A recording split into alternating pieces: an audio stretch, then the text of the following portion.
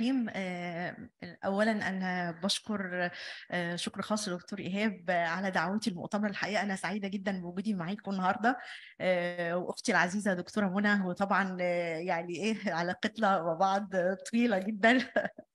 ويعني إن شاء الله كده نكون مع بعض بإذن الله في مؤتمرات جاية هحاول سريعا إن إحنا محاضرتنا النهارده عبارة عن شقين. الشق الأولاني إن إحنا هنشوف ال anthropometric measurement الشق الثاني هنشوف ال investigation وال important points اللي إحنا ممكن نركز عليها في ال investigation إيه.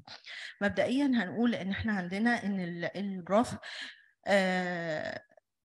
usually uh, children grow in a predictable manner when الابنورمال growth might indicate the presence of underlying disease يعني احنا دلوقتي لما بنبقى جزء من الاكزاميشن بتاعنا لاي طفل ان احنا اول ما بيجي لنا باي ديزيز بنشوف الويت والهايت والانثرومتريك ميجرمنت بتاعه لان ده ممكن يبقى indicate chronic illness frequent and accurate assessment of growth in primary importance for physicians and nurses caring for children لما بنيجي نقول ال condition affecting growth ممكن إنها تكون أي حاجة لها علاقة ب any system في الجسم كله cardiovascular nervous renal immune system metabolism endocrine and puberty وممكن ال psychological impact بتاع ال child ممكن affect ال growth of the child وبالتالي إن إحنا بنلاقي إن في ال growth pattern بتاع ال children هو أعلى growth pattern أو أعلى increase في السنتيمترات بتحصل في ال first year يعني إحنا بنتولد نص متر أو بنخلص السنة الأولانية بنبقى على ثلاث أرباع فإحنا كده زدنا 25 سم في أول سنة.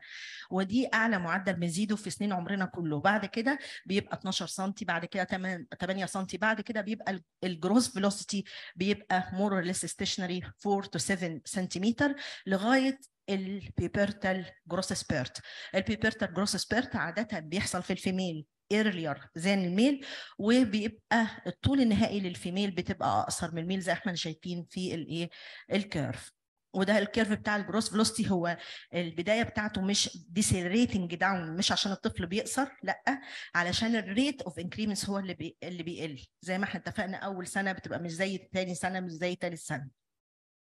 وبرضو اعتمادنا على ال long bones وال bone age بيبقى مهم جدا. ال growth بيتأثر بحاجات كتيرة جدا على السيزونال والسايكولوجيكال والفيزيكال والديزيزز والنيوتريشن كل ده ممكن وال genetics ممكن ده يأثر على ال growth of our child وبالتالي ال monitoring ال growth مهم جدا. بنشوف ال weight بنشوف ال length بنشوف ال growth velocity ال head circumference وكل ده بيبقى plotted على curves يعني إحنا ما بي عادة في ال pediatric age group ما بنتعاملش مع أرقام أكتر ما إحنا بنتعامل مع growth curves فمثلا ال length بن... لما بيجي children أقل من سنتين ما, ب... ما بقيسهوش وهو واقف. لازم يكون هو نايم ولازم يبقى فيه two assistant معايا. واحد بيبقى ماسك رأس الطفل زي ما إحنا شايفين كده وواحد ماسك رجله عشان ما يحركهاش وبيبقى نايم بالمنظر ده علشان أجيب الطول بتاعه مظبوط. لما بيبقى واقف بيبقى واقف straight وظهره ورجله وال occiput عنده كلها على point واحدة على الايه straight على ال back وباصص لقدام. يعني هو لا الطفل عامل كده ولا عامل كده ولا تاني راسه لقدام لازم يكون باصص في ال Frankfurt line عشان أجيب طوله صح برضه. وبالتالي إحنا عندنا حاجة اسمها Z score ال Z score ده بجيب ال patient الطول بتاع ال patient وبطرحه من ال mean وبقسمه على standard deviation عادة دي بتبقى جداول أو بتبقى موجودة جاهزة على ال growth curves فما بيبقاش عندي مشكلة في الحساب بتاعها قوي لكن علشان أقول إن الطفل ده normal or not يبقى لازم إن أنا أ follow ال bell shaped curve اللي إحنا شايفينه. معظم الأطفال بيبقوا في النص اللي هي عند منطقة ال zero وال minus واحد وال positive 1 وبعدين بعد كده deviated شوية لل minus 2 deviated شوية لل positive 2 لكن أقل من الحتة دي هي اللي بتبقى الخطر بتاعنا بقى إن ممكن الطفل بتاعي يدخل في سكة مش مظبوطة. ودي طريقة حساب ال standard deviation أو ال Z score ال growth curves عندنا هتلاقيها يعني مؤسسات كتيرة عاملة ال statistical كتيرة عاملة ال growth curves منها هتلاقي بال centiles منها هتلاقيها محسوبة بال Z score يعني جاهزة. لكن أهم حاجة إن أنا أعرف إزاي أعمل plotting لل child بتاعي على ال curve بتاعي مظبوط.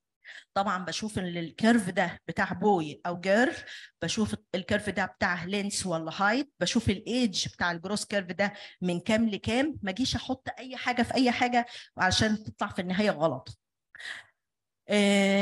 ده برضو growth curve لل weight بنعمل plotting لل child بتاعنا على ال different centiles وده آخر واحد اللي هو جاي لنا جاهز بال Z score يعني ده أهو عامل ال zero وبعدين هنا positive 1 و minus 1 وبعدين positive 2 minus 2 فده جاي لنا جاهز بال Z score مش محتاج إن إحنا نحسب ال Z score ال upper segment على ال lower segment ده زي ما دكتور أشرف قال أنا بقسم الطفل بتاعي ل proportionate و disproportionate فعشان أقول proportionate disproportionate لازم بقيس ال upper segment على ال lower segment الطفل لما بيتولد أي حد بيبقى واخد باله إن ال upper segment بتاع الطفل دايما بيبقى أكتر من ال lower segment بعد كده بيحصل إن ال long bone بتبقى بتزيد بطريقة أسرع. فبالتالي ال ratio اللي ما بين ال upper segment وال lower segment تبدأ تقرب من بعضها. أول ما يتولد بيبقى 1.7 إلى 1 وبعدين بعد كده 1.3 إلى 1 وبعدين تتساوى واحد لواحد عند سن تقريبا 7 إلى 8 سنين. وبعدين بعد كده بتتقلب ال ratio دي. الأول أنا بقيس الطفل زي ما هو واقف كده زي ما إحنا اتفقنا ال length بيت... أو الطول بتاع الطفل بيتقاس إزاي وبعدين بعد كده من symphysis pubis لغاية الأرض. بقيس ال lower segment وبطرحه من الطول وبجيب ال ratio اللي هي ال upper segment على ال lower segment وبشوف ال patient بتاعي proportionate or not لو أنا مش عارفة أعمل القصة دي ممكن أجيب ال sitting height وده برضو آه بيبقى tool من ال diagnosis ال weight بتاع ال child is key indicator of growth and should be measured uh, in each clinic visit plotted on growth chart زي ما زي ما نقول ولازم الطفل يكون أقل من سنتين ما بيبقاش لابس لبس خفيف خالص أو ممكن مش لابس لبس لكن في ال older children لازم برضو يكون minimal clothing ما يبقاش يعني بنقيس الوزن بتاعه هو لابس مثلا لبس شتوي كتير لا ما ينفعش الكلام. ده ال BMI من الحاجات اللي برضه مهمة قوي في الحسابات وخصوصا إن إحنا عندنا tendency الأطفال دلوقتي إن هم يبقوا obese فبالتالي حساباتنا إن الطفل بتاعي ده إن هو obese أو إن هو overweight أو إن هو بيزيد في ال BMI بتاعه إن هو عنده tendency إنه يبدأ إن later on هيبقى obese يبقى لازم أحسب ال BMI اللي هو ال weight على ال square height in meter وبرضه زي ما اتفقنا إحنا عندنا growth curves ولازم بنعمل لها plotting على ال curve بتاعنا. فهنا مثلا دي ال curves بتاعت ال BMI اللي هي ال overweight من كام لكام ال obesity اعلى من 95 ال morbid obesity أكتر من 120% ال head circumference برضو بيبقى routine used لغاية سن الخمس سنين وبيبقى ال tape بتاعي بيبقى here و measure midway between the hairline and the eyebrow and the occiput.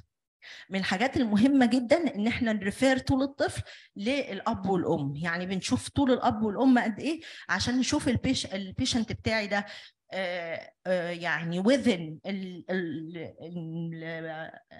ال equation دي ولا براها؟ يعني إحنا بنشوف ال father ال mother plus 13 لو كان ولد أو minus 13 لو كان بنت ونقسمها على اثنين إزاي بنعمل لها plotting على ال curve؟ أدي الطول أهو بتاع الطفل بتاعي. by definition هو شورت هو أقل من ال third centile لكن لما نيجي نحسب ال mid parental height أهو وبنرسم curve parallel لل growth curve بتاعنا هنبص نلاقيه within ال mid parental height بتاعه. طفل برضه هو نفسه لكن الأب والأم بتاعه طوال فبنرسم curve parallel growth curve زي ما إحنا شايفين هنلاقيه أقل من ال mid parental height يبقى هو كده هيبقى by definition هو short ال assessment لل growth مهم جدا وأنا الأول المفروض إن أنا آخد history زي ما دكتور أشرف قال لنا. بكل ال points بتاعته ال examination بكل ال anthropometric measurement وال dysmorphic features وال asymmetry وال disproportion وبعدين بعد كده بندخل على ال lab. إيه بقى ال point المهمة في ال lab اللي إحنا لازم نركز عليها؟ أنا مش أول واحد ما يجي لي short stature إن أنا أيوه اعمل لي basal growth hormone يلا عشان بس نشوف كده نطمن. الكلام ده حرام يتعمل حرام. لأن اولا دي فلوس مرمية في الأرض. ثانيا أنا مش هستفيد بأي حاجة لو عملت ال growth hormone اللي هو ال basal اللي بيتعمل في كل ال patient ال short اللي هو بيجوا لنا. أمال إيه الأحسن إن أنا أعمله؟ basic investigation أعمل له basic investigation why not ليه ما يكونش هو anemic وإن هو ممكن يكون شورت بالسبب ده؟ ممكن يكون سيلياك ممكن يكون في inflammatory bowel ممكن يكون في ممكن على فكرة أطلب ده يعني أطلب ال insulin growth factor 1 بس خليها دي قدام شوية. لو أنا صلحت كل ده عملت كل ده. وأنا يعني هنحاول إن إحنا نركز على points كده معينة. يعني مثلا بالنسبة لل insulin growth factor 1 ال insulin growth factor 1 الأحسن إن هو يتعمل مع ال insulin growth factor binding protein 3 لأن الاثنين ال sensitivity وال specificity بتاعتهم بيبقوا مع بعض بيبقوا أعلى بكتير جدا لو ال insulin growth factor 1 لوحده. وده useful test except in pubertal patient and those with history of brain tumor لأن ممكن في السببين دول ال insulin growth factor 1 يكون normal والطفل برضه ممكن يكون short ال poor nutrition من الحاجات اللي ممكن تقلل ال insulin growth factor 1 ويبقى claimed إن هو الطفل ده growth hormone deficient وهو مش deficient ولا حاجة. ودي list من ال list اللي هو بيقول لنا ال insulin growth factor 1 ممكن يتأثر بإيه. تاني حاجة ال normal thyroid function قبل ما proceed إن أنا عملت basic investigation واطمنت إن ال patient بتاعي كويس ولو كان anemic أنا هدي iron supplement لو كان vitamin D deficiency هدي vitamin D هظبط الطفل بتاعي. لكن مهم قوي قبل برضو إن أنا rush for growth hormone أو أطلب growth hormone إن أنا أطمن على normal thyroid function وده لسببين. لو هو في affected ال thyroid function affected أنا هدي treatment لل hypothyroidism وأشوف ال increments بتاع ال height بتاعي أخباره إيه. ولو ما كانش كويس أعمل growth hormone بعد ما normalize ال thyroid function أو إن هو من البداية لقيت ال thyroid function normal فخلاص. قلنا أي short female لازم يتعمل لها karyotyping to exclude Turner syndrome بعد كده ال measurement of growth hormone اتفقنا إن ال growth hormone ما بيتعملش basal دي نمرة واحد.